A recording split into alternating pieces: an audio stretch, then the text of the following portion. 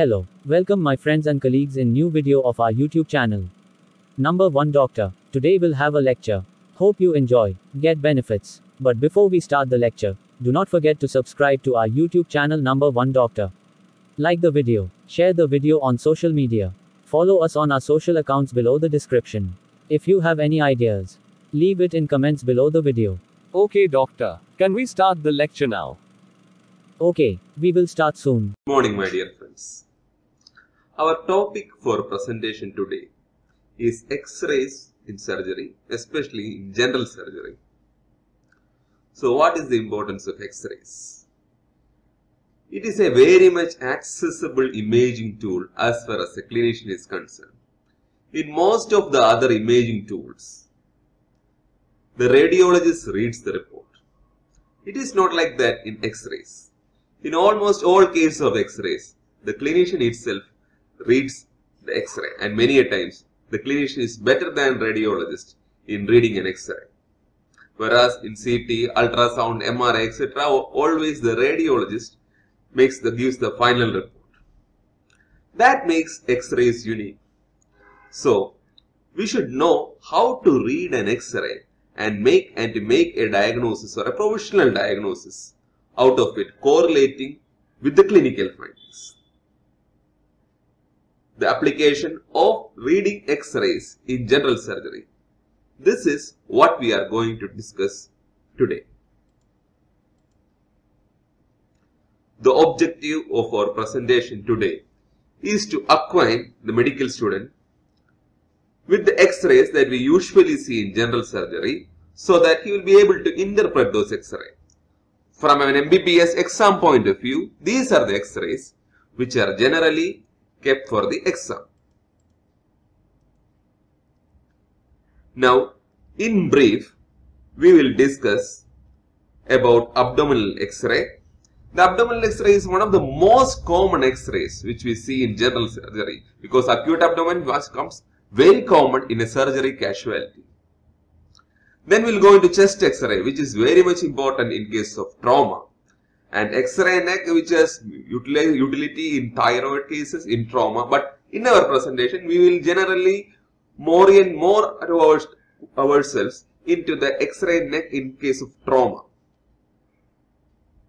These are again I, I say that these are the X-rays which are generally seen more by the clinician and not by the radiologist.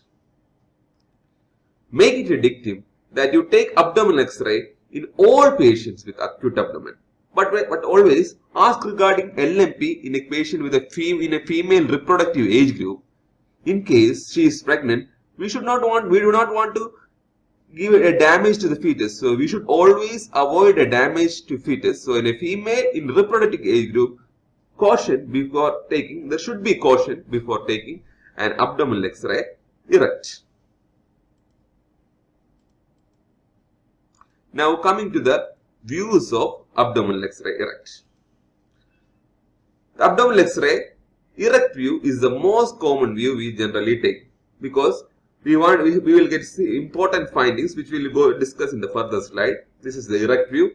Now coming to the supine view which is the next common view we will take. Supine view will more than making a diagnosis it will help us to add on to the findings that it will help us to give more information or add on information to the findings that we seen in the abdominal x-ray erect.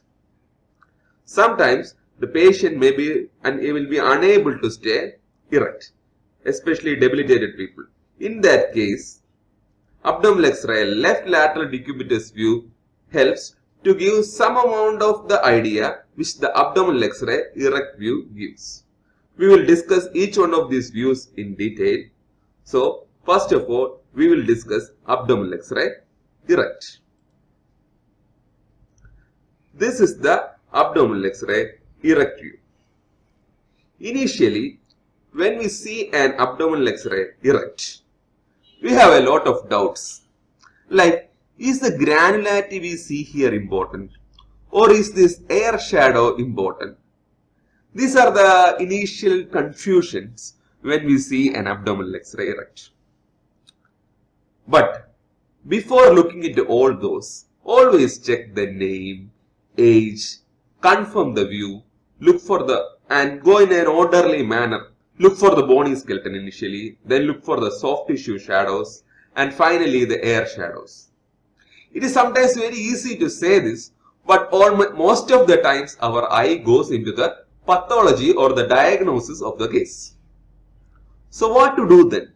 In the initial, it is virtually impossible not to look into the pathology and go in for the orderly methodical view.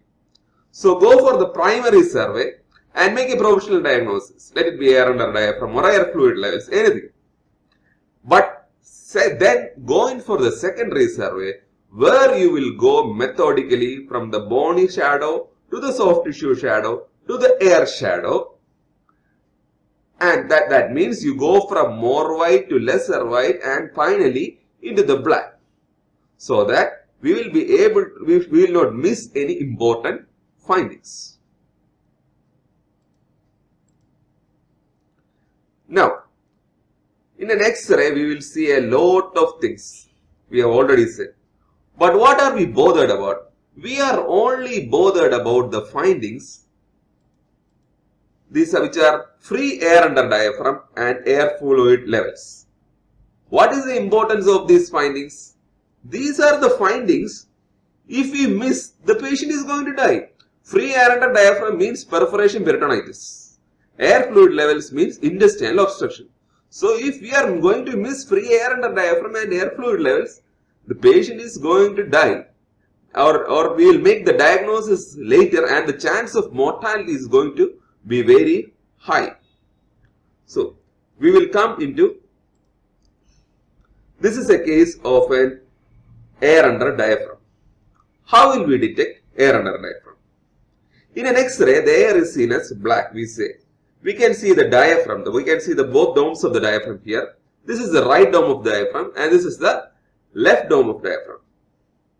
So we see air on both these sides, on the right side, on the left side. Which air are we going to believe? You see the air floats up. When the patient stands erect, the air floats up above, above the liver and above the stomach. And above the, above the liver and above the stomach. On the right side we have the liver and on the left side we have the stomach. So the problem on the left side if we look for air under diaphragm on the left side is we have both the fundic air shadow and the air under diaphragm on the left side. So what happens? There is a confusion that whether it is a fundic air shadow or a air under diaphragm under diaphragm is also called pneumoperitoneum. So, when you look for air under diaphragm, always look on the right side above the liver, below the diaphragm. So, again repeat, when you look for air under diaphragm, always look on the right side above the liver, below the diaphragm. And a very interesting fact I would like you to notice here uh, that even so, even uh, even though I started as abdominal X-ray erect, what we are actually looking is the chest X-ray, chest X-ray PA view, erect view. So what is this? What is our inference? Even even a, a chest X-ray can also be very helpful while taking and while in detecting an abdominal X-ray in detecting a pneumoperitoneum. Now, this is another case of air under a diaphragm. When we see an air under diaphragm in a patient, it means that there is a hollow viscus perforation. It can be a gastric perforation or a duodenal perforation and sometimes a sigmoid diverticular perforation or an appendicular perforation can also present as air under diaphragm. What does it mean? It means that it is a surgical emergency. The sun should not set and rise. The sun should not set and rise on a perforation. We should do a laparotomy and repair the perforation before that or else there is a high chance of mortality for the patient. Now, this is another case of air under diaphragm. The air under diaphragm may not be always very typical. This is a mass case of massive pneumoperitoneum uh, following a trauma. You can see the chest tube here. Okay.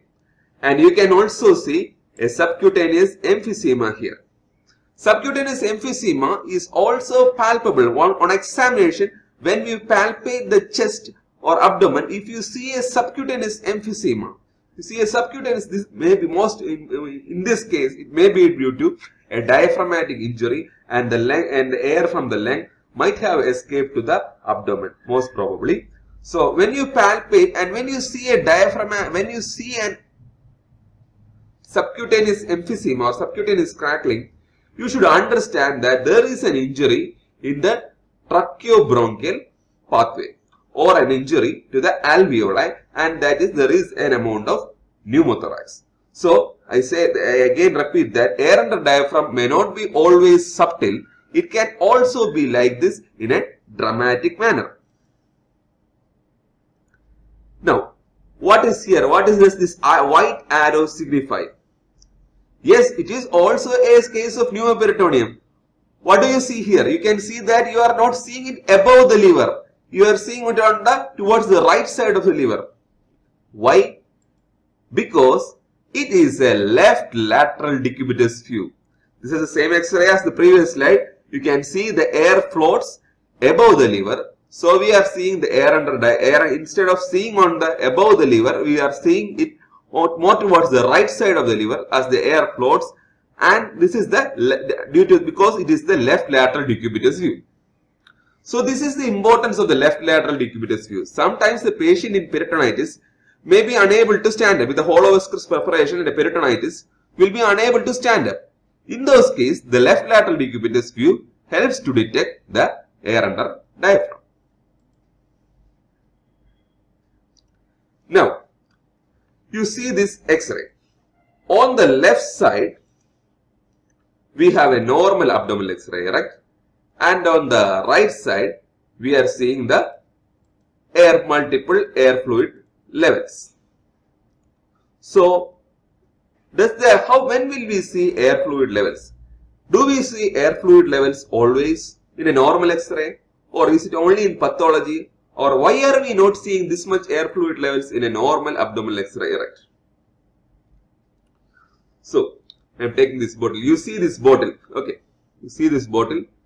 There is fluid and there is air and you are seeing an air fluid level. Suppose I shake this bottle. Okay. Suppose I shake this bottle. Are you seeing an air fluid level? You won't. Because there will be no air fluid level when the bottle is in the in movement. Exactly the same thing happens in the abdomen. When there is peristalsis, the air and the fluid is being mixed and we are not going to see an air fluid level. But in case of intestinal obstruction, there is will be some amount of, there will be stasis. So when there is stasis, what will happen? The bowel will go into ileus and there will be an air fluid level. So wherever there is stasis, we can see an air fluid level. Please note that ileus, when, when I said that the bowel will go to ileus means the ileus has nothing to do with, ileus has nothing to do with uh, ileum. Ileus, many a times when I say, when we see here paralytic ileus first, uh, our doubt is whether it is uh, something to do with ileum. No, ileus has nothing to do with ileum. It means that it is a lack of, there is a lack of peristalsis in the bowel. So whenever there is stasis in the abdomen, stasis in the bowel, there is air fluid levels. So is there a, is there areas where there is stasis in case of a normal abdomen or a normal, or do we see air fluid levels in normal abdominal X-ray, right? Yes. Where are they? They are at the points of sphincters. On the ileocecal junction, near the pylorus, we may see an air fluid levels. So, when we see two air fluid levels, it may not be a pathology. It can be near the pylorus and it can be near the ileocecal junction. But when we see more than two, when we see three or more air fluid levels, we will say there is a multiple air fluid levels. So, more the number of air fluid levels, the more the chance for intestinal obstruction is. Arbitrarily, we can say that there are there is a, there are six air fluid levels, there is intestinal obstruction, but it is not a perfect dictum when we are seeing when there is when there are more than when there is three or more air fluid levels, there is there is multiple air fluid levels and there is a chance for intestinal obstruction. Now that we have identified how to visualize a pneumoperitoneum and we have understood the importance of it as perforation peritonitis and to identify the multiple air fluid levels in the abdominal X-ray rects and to understand that it is suggestive of intestinal obstruction. Now we will try to read the multiple uh, shadows, multiple black shadows we see in the abdominal X-ray rect. Gastrointestinal tract in abdominal X-ray rect. In this following presentation, we will use the following part of the presentation. We will use both the supine X-rays and the erect X-rays to identify the gastrointestinal tract. First, see this X-ray. This is an X-ray of the which part which part of the bowel? What which bowel which part bowel will be this much big this much large? And showing this shape. Yes you can see the yes this is the greater curvature. Not about about. It this is the greater curvature and this is the lesser curvature, the antrum of the stomach. Yes, this is the stomach we see in an abdominal X-ray supine view. Okay, supine view showing the dilated stomach. This is the erect view. We see the large air fluid level of the stomach. This is the erect abdominal X-ray erect view, where which this in this case the obstruction must be must be at the range of pylorus. We see a multiple, we're seeing a single large air fluid level suggestive of the gastric outlet obstruction in this case. This is supine view and this is the erect view. Now, what is this case? This is a case of multiple air fluid levels. We will see air fluid levels when we take an erect X-ray. Okay. Now this is another X-ray showing multiple air fluid levels in an erect view. Now this is the X-ray of the above patient in the supine position. Can you see the difference? There is no air fluid levels in the supine view. There are no, this is the X-ray, the X-ray, erect X-ray showing the multiple air fluid levels and then in the supine X-ray there are no air fluid levels. Why is it like that?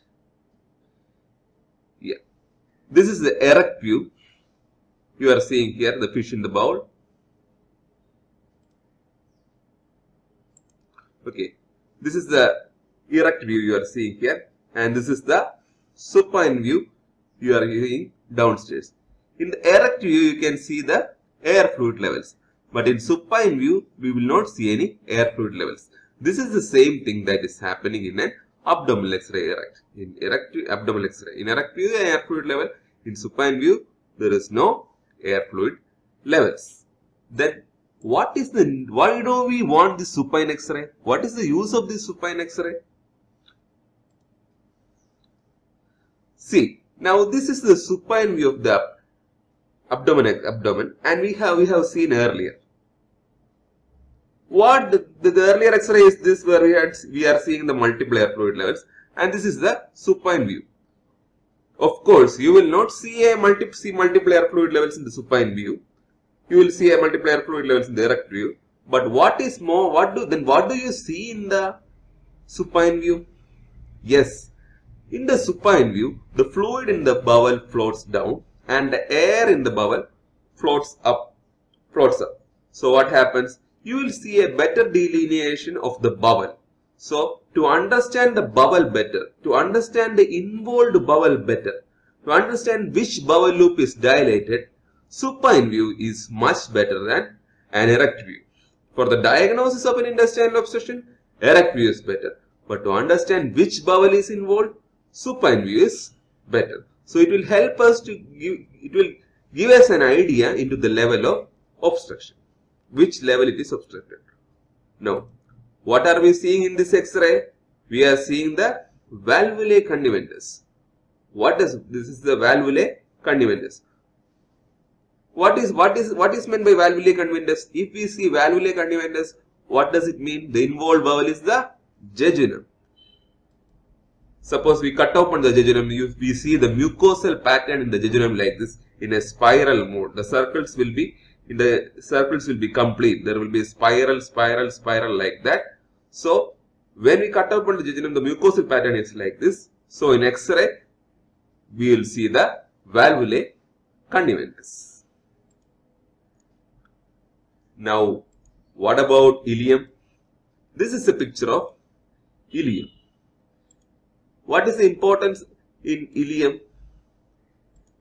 In an X-ray, the ileum is featureless. There is no characteristic feature of our ileum in X-ray. So, where is the level of obstruction in this case? How can we identify the level of obstruction in this case? In this case, we can say the obstruction is in the distal ileum. The colon is not dilated. The ileum is dilated. The obstruction will be in the distal ileum. So, we can identify the level of obstruction from a supine X-ray provided there is an a multi there are multiplier fluid levels in the erect X-ray. Featureless. Now, we already know that this is the jejunum and we are seeing the valvulae conniventes with a violet arrow. Now, do you see any other vowel in this? Yes, you can also see the featureless ileum here. Yes, this is the featureless ileum. So, how do we know where, the, where is the level of obstruction? The level of obstruction will be in the ileum. The jejunum is dilated, the ileum is dilated, the colon is not dilated. The level of obstruction will be in the, most probably in the ileum. Thus, we can again identify, we can identify different types of bowel, jejunum and ileum in the abdominal X-ray supine view. So now we know to identify the stomach, the jejunum and the ileum in a supine X-ray, in an X-ray abdomen. Okay.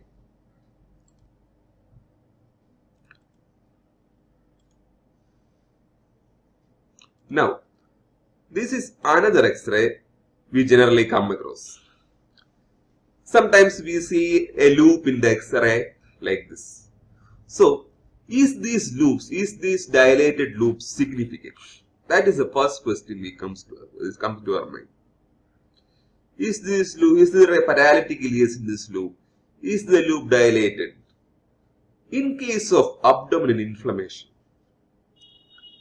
inflamed, inflamed inflammation in the peritoneum, suppose say acute appendicitis or acute pancreatitis, a loop may be dilated which is adjacent to. The loop which is touching onto the inflammation may go in for a paralytic ileus and it may be dilated. How do we know whether it is a dilated loop or not? As an arbitrary rule, if it is a small bowel, a more than 3 cm diameter is suggestive of dilatation. And if it is large bowel, a more than 6 cm, dia 6 cm diameter is considered as a dilation. But this is an arbitrary rule. After some time, we will look into the sub, we will see the we, after some practice, the subjective assessment becomes more important than the objective assessment in case of centimeters. So, what is the bowel involved in this picture? It is the jejunum. You can see, you are seeing the valvulae conniventes here. Right? This, you are seeing the valvulae conniventes here. So, the involved bowel is the jejunum. Now, why the jejunum is involved? In this case, it can be due to an acute appendicitis and the jejunum will be dilated. And these types of loop, which is in relation, which is in close opposition to an inflammation, is called a sentinel loop. In appendicitis, you can get a sentinel loop. In acute pancreatitis, you can get a sentinel loop. So, whenever there is inflammation close to it, there can be, there will be a dilated loop, there will be a loop which has gone into ileus, which is called the sentinel loop. Why is it called sentinel loop? Sentinel? Yes. In olden times, this is the person. This is a person. Th these people will be generally in a more relaxed mode and this person will be sitting in upside over the tree and he will be looking in whoever is where the enemy is. When the enemy comes, he will be the person to see the enemy first and he will alarm the others. Exactly like this. Whenever there is an inflammation in abdomen, the loop nearby it go into paralytic ileus and it sounds the other part. It sounds to us that there is an inflammation. There is a war coming. This is called a sentinel loop and exactly whenever there, whenever there is an inflammation, a loop near it can be inflamed which is called a sentinel loop. Now, we have identified the jejunum and ileum. Next bowel we have to identify is the colon. How will we identify the colon? Colon is generally located towards the periphery. The jejunum and ileum is generally towards the center of abdomen. Even clinically this difference we can see. In case of a small intestinal obstruction, the distension will be in the central part of the abdomen. In case of a large intestinal obstruction, the distension will be in the peripheral part of obstruction. This is because the colon is located more towards periphery. So one of the identification features of colon is it is located more towards the periphery of the abdomen. Next, haustrations. These are, the haustrations we see in the colon. We are seeing the haustrations here in the colon. How will we know the difference between the haustrations and valvulae conniventes? Haustration. This is a colonoscopic view. Eh? This is a colonoscopic view. We will see that the haustrations are not complete circles. They are generally incomplete circles. Exactly like that. In valvular conniventes, we had seen the complete circle. We are here the haustrations we see as incomplete circle. Another thing. So we have a doubt whether there is obstruction in this case. Suppose this is a normal X-ray or not. We have a doubt. How will we understand that? For that, for the to be obstruction, there will be a certain cutoff of the gas in the colon. We can see that there is no sudden cutoff like that and we are seeing this is the rectal gas. This is also very important. Suppose we are seeing rectal gas, we can be sure that until that point there is no obstruction. So, there, there is no sudden cutoff of the air in the colon and there is rectal gas. We can very well say that there is no obstruction until the level of rectum. Now, this is another case. What is this? This is a case of large bowel obstruction. How will we say that this is large bowel obstruction? We are seeing a dilated bowel here once dilated large bowel here more than 6 centimeter diameter. Okay. Now this was this is our earlier x-ray. Okay. Here we are not seeing here the, the, we can very well see that the large bowel is dilated. Next thing we will see that the host range there are multiple air fluid levels. There are multiple air fluid levels suggestive of large bowel obstruction. The third thing which comes to our help is it that there are haustrations the haustrations in the large bowel in this case unlike in the earlier normal X-ray, are effaced. The effacement of haustration is another feature of large bowel obstruction. And the fourth feature that comes to our help is there is no colon cut-off sign. The colon, we can see that the bowel in the gas in the large bowel is suddenly cut off at the level of sigmoid colon here. Sigmoid or the lower descending colon. So, in this case, there is no cut-off. The colon cut-off the sudden cutoff of the colonic air is another feature of obstruction. And the next feature that helps to identify the large bowel obstruction is the presence of absence of rectal gas in this case. You can see rectal gas in the normal abdominal x-ray, but we are seeing no rectal gas in this case. This is another feature that will help us to identify whether there is large bowel obstruction or not. So this is a case of large bowel obstruction showing the effacement of the haustrations, dilatation of the large bowel, multiple air fluid levels, sudden cutoff of the colonic gas and the absence of rectal gas. We have seen the large bowel obstruction and how will we identify the large bowel obstruction. But what about the sigmoid colon? In sigmoid colon, unlike the ascending, descending and transverse colon, the haustrations are not very clearly seen. The haustrations become less pronounced. So how will we know whether the sigmoid colon is dilated? This is the classical picture of sigmoid volvulus, one of the most common cause of sigmoid colon obstruction showing what appearance? Yes, this is called the coffee bean appearance which is seen in the sigmoid colon. Exactly, this in the coffee bean shape. So, keep this picture in mind. Sigmoid volvulus coffee bean appearance. Now, this is one of the most common x-rays. What is the most common x-rays we see? You see that dark circle, the black circle. What do you see? That granular thing. This may be the most common finding we see in X-ray. But they are the fecal matter. Don't think it as a pathology. It is the fecal matter we are seeing in the X-rays. Now, these are the basic, what we have seen that the, are the basic guidelines of seeing an abdominal X-ray. In your clinical practice, while you learn, you will come across a one, one many a lot of wonderful X-rays as far as uh, wonderful abdominal x-rays. When you see those x-rays, apply the basic principle. The bony skeleton, the air, the soft tissue, the erect view, the multiple air fluid levels, the supine view, the different types of bowel, the stomach, ileum, valvulae conniventes, everything. You apply all these into it. You will be able to identify the pathology and you will be able to reach a diagnosis in most of the cases, but always clinically correlate. Now, since we have finished off the abdominal x-ray, we will come to the chest x-ray. Many a times, the problem with the surgeons is many of the elective cases, we will just make a glance at the chest x-ray and we will leave it to the anesthetist. In pre-operative checkup, anyway they will check it.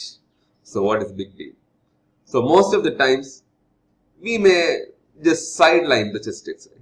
But when it comes to trauma case, when it comes to the surgery casualty, chest x-ray is very important. We have to, it becomes a point of saving and losing a life to correct, when we, if you are able to correctly read a chest x-ray, we can many a times save lives in case of pneumothorax, in case of hemothorax. We will come to it. So, this is how a chest x-ray is taken. It is generally a PA, PA view. But in many trauma cases, if the patient can't be mobilized, suppose a case like this comes, we will have to adjust with the AP view. Okay. So, this is the classical chest x-ray PA view. Now, when we see an X-ray like this, how will our eye go about it? Obviously, I have said earlier that we have a tendency to go into the pathology first, it is okay, but after the primary survey, going for the secondary survey. So, how will our eye go into it? First, looking for the, after the primary survey, when we go in for the methodical survey, looking for the bony skeleton. First, we look at the clavicle, the scapula, then E go for the each rib, the first rib, the second rib, the third second rib, the third rib, go in a methodical manner or each of the ribs.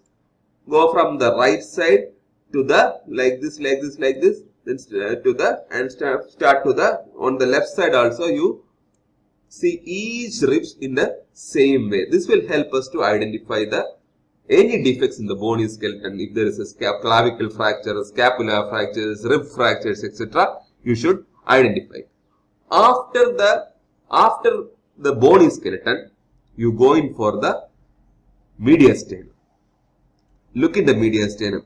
You can see the trachea here. First, you go in for you look at the mediastinum like this. You see the trachea here, and then you see the cardiac shadows in the mediastinum. So, in the mediastinum you should go in this fashion you will see the different parts of the mediastinum.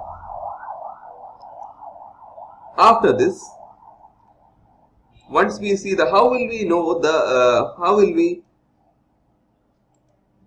know the different parts of the cardiac shadow? We have to know the different parts of the cardiac shadow. This is the aortic knuckle, the pulmonary trunk, which is more we will see it as a concavity rather than the convexity, the left auricle and the left ventricle. We will see the superior vena cava, right atrium, and the inferior vena cava on the right side, and the inferior border of the cardiac shadow is mainly formed by the right ventricle. Now, after we have seen the mediastinum, now we should go in for the air spaces. You see the lung, lung like this. You start from this side, you go like this, go like this. You see the black part of it. Now you are concentrating on the black part of the air shadow now, not on the white ribs. You are concentrating. We look for the cardiophrenic angle here. We look for the costophrenic angle here. Now coming to here, you again look at this cardiophrenic angle, this costophrenic angle. During this period, you have to see the domes of the diaphragm. Then go like this, go like this, go like this towards the opposite side. Concentrating on the air all, all these times. Concentrate on the air shadow of it. Now at last, you see the subcutaneous spaces, the soft tissue shadow for the release to see whether there is any emphysema or subcutaneous emphysema or surgical emphysema. Now, one of our professors once asked us, what is the X-ray? Is this X-ray a male patient or a female patient? It is an X-ray of the female patient. This part is not a lung margin. It is a breast shadow. So always you should know to identify a breast shadow. Don't uh, don't mistake for lung margin. We can see the markings of the lung here beyond the margin of the breast. Now, identify the chest X-ray. This is a case of right pneumothorax. When we say it is a right pneumothorax, it is easy to diagnose. But how will we say whether there is a, how, which are the diagnostic points which will help us to identify that it is a pneumothorax? One, you have to identify the lung margin. This is the lung margin here. You have to identify the lung margin. This is the lung margin here. Next, second case, the absence of the parenchymal markings. These are the parenchymal markings. The absence of the parenchymal, mark, parenchymal markings outside the lung margin. There are no parenchymal markings here. Here you can see the parenchymal markings. And finally, not in all of the cases, but in some cases, there will be a mediastinal shift. Identifying the pneumothorax is very important and the action has to be taken immediately because it will be life-saving. Now, this is another case of pneumothorax. Right pneumothorax, again you can see the, but in this case the pneumothorax may not be always very pronounced. You can again, it can be subtle also. You can see the lung margin here, the absence of parenchymal margin here, but there is not much of a mediastinal shift because there is a small pneumothorax.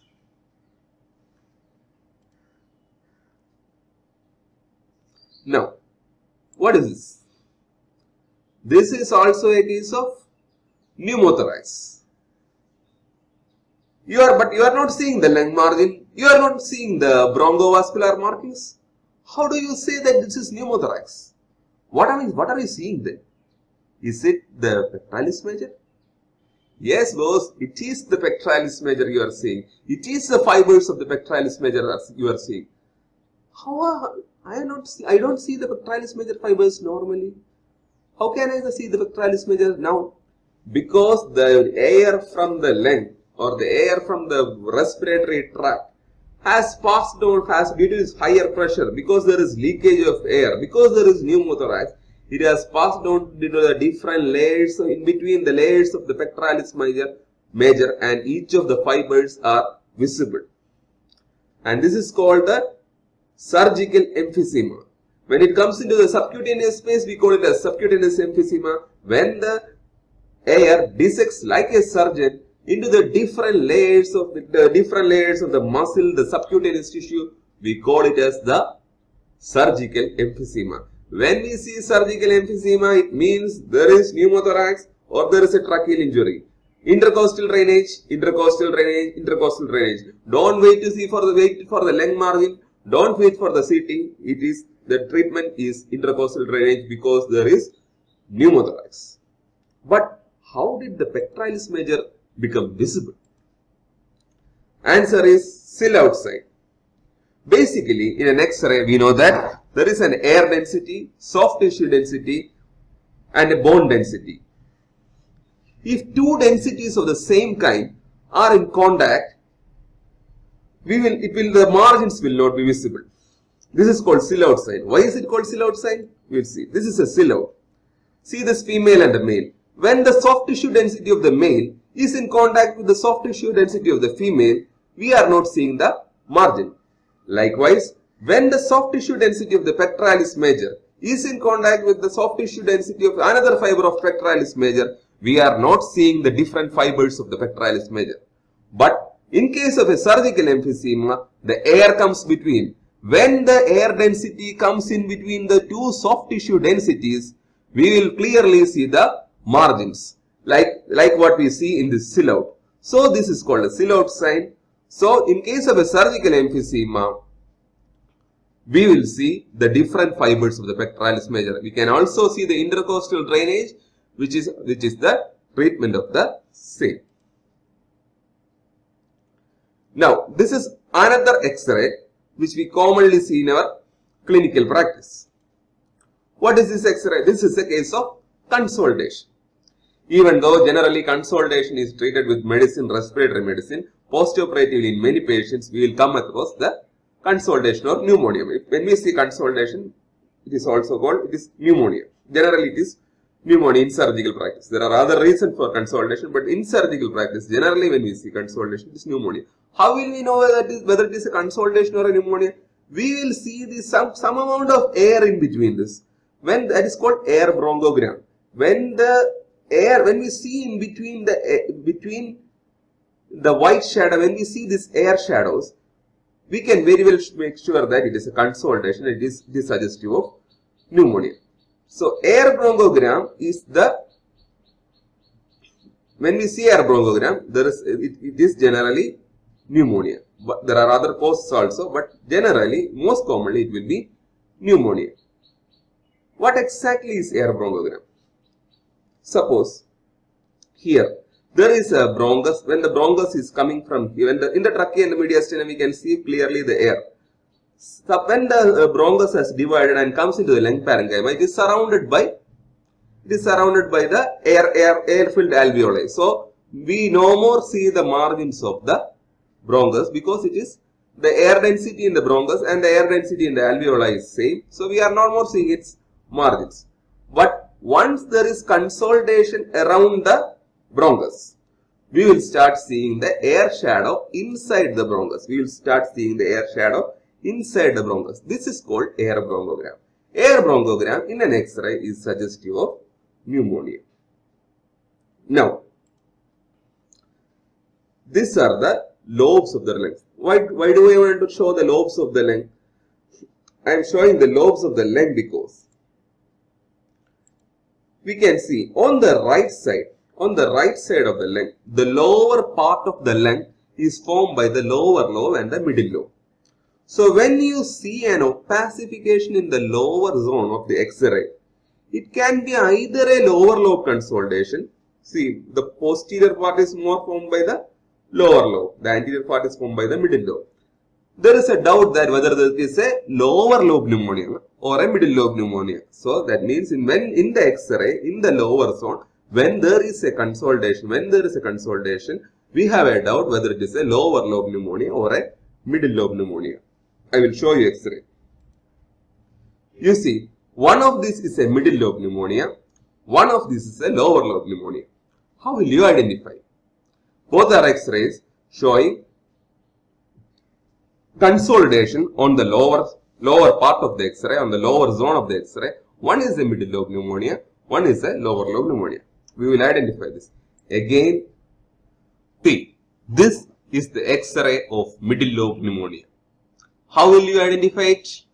You can see that the middle lobe here is in close opposition with the cardiac shadow.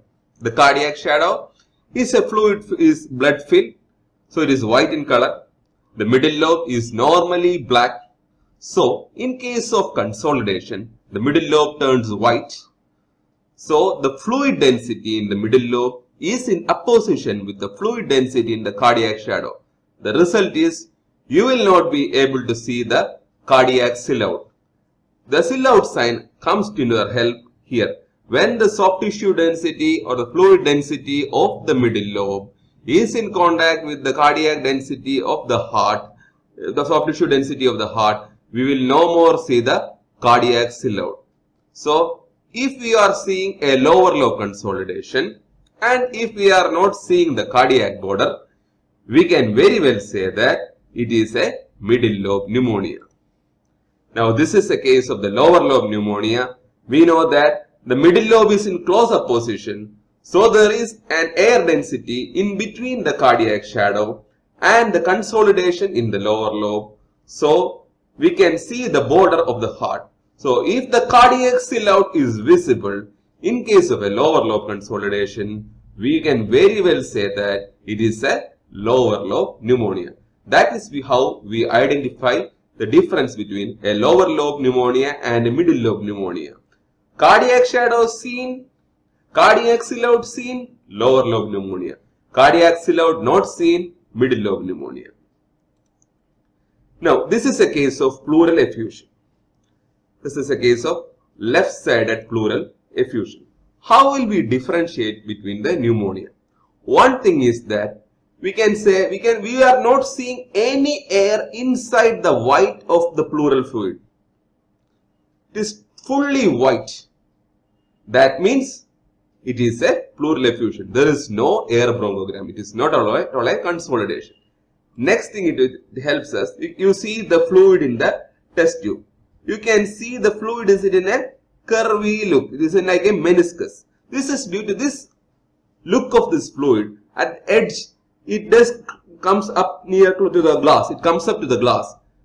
This meniscus appearance of the fluid is due to the surface tension of the fluid. Exactly this meniscus sign happens in the pleural fluid. Pleural fluid. So in case of a pleural fluid, pleural effusion, there is also a meniscus sign. We are not going to see a meniscus sign in case of a hydropneumothorax. In case of hydropneumothorax, the line will, uh, hydropneumothorax, the line will be a straight line. We are not going to go into detail about the hydropneumothorax because it is more towards a medical case. We will deal with the right hemothorax. This is an X-ray after a gunshot injury showing a right hemothorax. Again, we are seeing the some amount of meniscus sign here. We will only see these types of hemothorax if the patient stands erect to see the air fluid level. But generally, our patients will be in this position. They will not be in a condition to be made erect. So, most of our trauma patients will come like this and we will be only be, we will have to conduct with the supine X-ray. This is an X-ray. This X-ray, when we see at first, we will feel that there is no problem. But this is a case of hemothorax. This is a case of right hemothorax. This is a supine view. We are not seeing a definite air fluid level. Say, this is a supine view. We, we know that there is water in that bucket. How? Of course, we will see the we know that there is water now. Of course, we see the fish swimming in it so that we know, so we know that there is water. But apart from Thanks for watching. Hope to see you again in next lectures and presentations. Do not forget to share and like the video. With my best wishes, Dr. Atef Ahmed and visit my website, dratef.net.